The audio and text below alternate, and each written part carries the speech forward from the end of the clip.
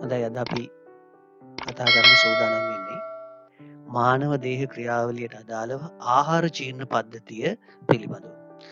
අප ගන්න ආහාර ආහාරජීර්ණ පද්ධතිය නම් පද්ධතිය ඔස්සේ වෙන සිද්ධ වෙන ක්‍රියාවලි මෙහිදී අපි කතා කරනවා ආහාර ජීර්ණය කියන්නේ ආහාරය තියෙන සංකීර්ණ කාබනික සංයෝග අවශෝෂණය කළ හැකි පරිදි සරල කාබනික සංයෝග බවට පත් කිරීමේ ක්‍රියාවලියයි.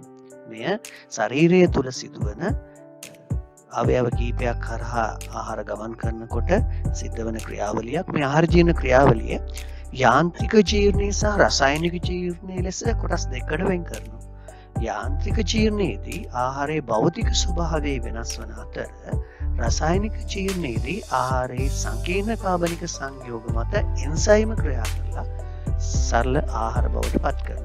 තොර මේ ආහාර ජීර්ණ පද්ධතිය මුක කුහරයේ සිට ගුදමාර්ගය දක්වා තනි නාලයක් වන අතර ආර්ජීර්ණයට අවස එන්සයිම සැපීමේදී විවිධ ග්‍රන්ථි ආර්ජීර්ණ පද්ධතියට සම්බන්ධ වෙලා තියෙනවා. තොට ආහාර ජීර්ණය ආර්ජීර්ණ පල අවශෝෂණය ඒවගේම අනවශ්‍ය ද්‍රවී බැහැර කිරීම ආර්ජීන ඉතිරිවන පල බැහැර කිරීම වගේ දේවල් ආර්ජීන පද්ධති ආශිතව සිද්ධ වෙන. ආර්ජීන පද්ධති අයත් ප්‍රධාන අවයවතමයි මේ ඔබ දකින්නේ මොක ගුවරින් ආරම්භ වෙන ගුදමාර්ගය දක්වා ගුදේ නවසන් වන නාලාකාර විරුවක් තුළ ආමාශය උඩාන්ත්‍රය මහන්ත්‍රය වගේ විවයන්ගෙන් ආහාරමාර්ගය සකස් වෙලා තියෙන.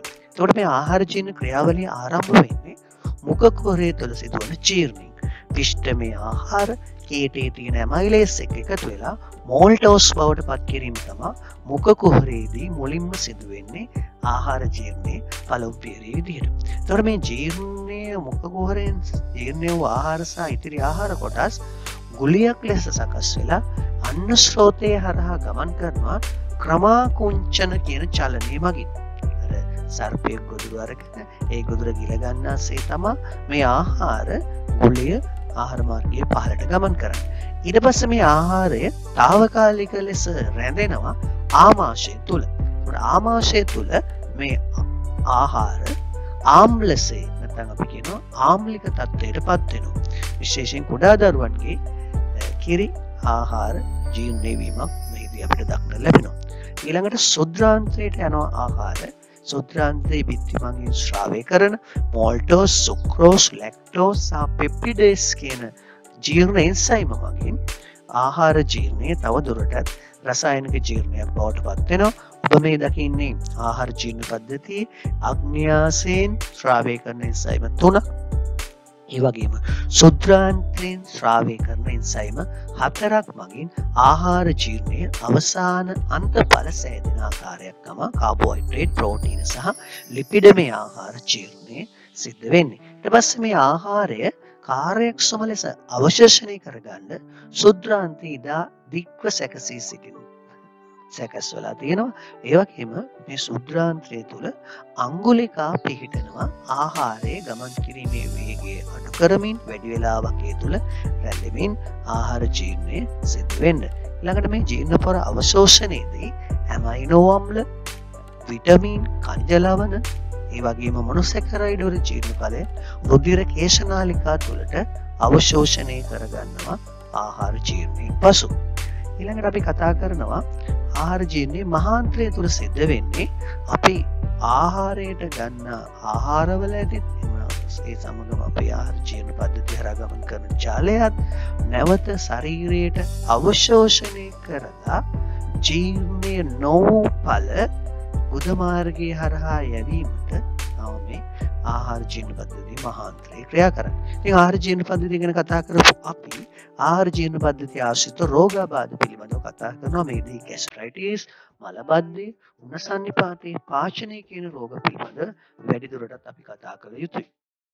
එනම් අපි ආර්ජීර්ණ පද්ධති රෝගවලට යොමුම් ගැස්ට්‍රයිටස් ආමාශය අභ්‍යන්තර ශ්ලේෂ්මල ආස්ථනය ප්‍රදාහට ලක්වීම තමා නැත්තං ආම්ලික ගතිය නිසා තම මේ රෝගී තත්වය ඇතිවෙන්නේ මේ රෝගී තත්වයට හේතු කීපයක් අපි හඳුනාගෙන තියෙනවා. නියමිත වෙලාවට ආහාර නොගැනීම අම්ල මිරිස් තෙල් අධික ආහාර ලබා ගැනීම අධික ලෙස මධ්‍යසාර වලට යොමු වී තිබීම රෝගය ඇති වෙන ඊළඟට අපි කතා කරනවා මලබද්ධ පිළිබඳව. මලබද්ධයේ මලද්‍රව්‍ය ඝනතත්වයට පත්වීම නිසා මල පහ කිරීම නැති අපහසුතාවය තමයි මලබද්ධය ලෙස හඳුන්වන්නේ වැඩිපුර ජලය මහාන්ත්‍රයේදී අවශෝෂණය කිරීමෙන් තමයි මේ රෝගී තත්ත්වය ඇතිවන්නේ. ඊළඟට අපි කතා කරනවා උණ සන්නිපාතේ බැක්ටීරියාවක් මගින් උද්භව වන රෝගී තත්ත්වයක්. රෝගකාර බැක්ටීරියා ශරීරගත වීම ආහාර මගින් වෙන්න පුළුවන්. ඒ වගේම ජලය මගින් වෙන්න පුළුවන්. මේ ආහාර මගින් හෝ ජලය මගින් ඇතුල් වන බැක්ටීරියාවක් නිසා ඇතිවන රෝගී රෝග ලක්ෂණ කිහිපයක් ඔබට දීලා තියෙනවා. ඊළඟට අපි කතා කරනවා පාචන පිළිබඳව. මෙය වෛරසයක් හෝ බැක්ටීරියාවක් පරපෝෂිතෙක් මගින් අන්ත්‍ර ආසාදනය කිරීමක් නිසා තමයි පාචන කියන රෝගී තත්ත්වය ඇති වෙන්නේ. මේක ප්‍රධාන වශයෙන් අසූචි මගින් නැත්නම් මල පහ මගින් ව්‍යාප්ත වන රෝගී තත්ත්වයක්. ඊළඟට මේ රෝගී තත්ත්වයේ උණන සන්නිපාතය සහ පාචනය කියන රෝගී තත්ත්ව වළක්වා ගැනීම සඳහා යහපත් සෞඛ්‍ය පුරුදු කිහිපයක් ඔබට ලබා දීලා තියෙනවා. මෙන්න මේ සෞඛ්‍ය පුරුදු අනුගමනය කිරීමෙන් මෙම රෝග වලින් ආරක්ෂා වීමටත් එම රෝග ඇතිවීම වළක්වා ගැනීමටත් හැකියාව ලැබෙනවා. ඉතින් අපි අද කතා කරේ ආහාර ජීර්ණ පද්ධතිය සහ ඒ ජීර්ණ ක්‍රියාවලියත් ඒ වගේම ඒවා ශරීරයට අවශෝෂණය කරගන්න ආකාරය එම පද්ධතිය ඇතිවන ආශ්‍රිතව ඇතිවන රෝගාබාධ